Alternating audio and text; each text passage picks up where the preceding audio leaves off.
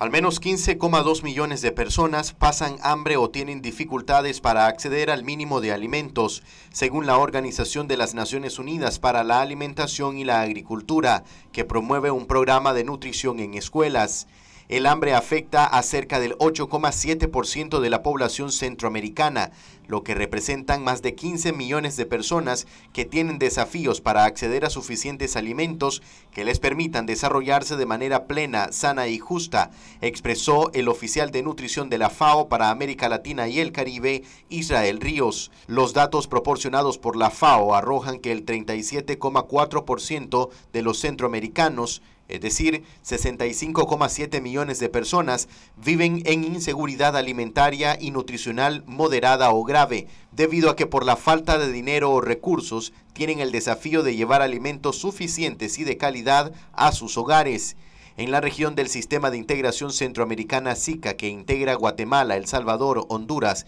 Nicaragua, Costa Rica, Panamá, Belice y República Dominicana, unos 23.1 millones de centroamericanos también viven en condiciones de inseguridad alimentaria grave. Dicha condición provoca que por falta de dinero o recursos se deje de comer en casa o algún miembro en el hogar no come o se sirve menos comida de lo habitual, según la FAO. Así, la desnutrición crónica o retraso en el crecimiento en menores de 5 años afecta al 13% de los niños en Centroamérica, es decir, 2 millones y unos 100 mil menores presentan bajo peso para su tamaño o estatura. La FAO destaca que paradójicamente el sobrepeso está aumentando. Casi un millón de menores de 5 años tienen exceso de peso y en las escuelas entre el 20 y 40% de los niños presentan peso por encima de la media saludable.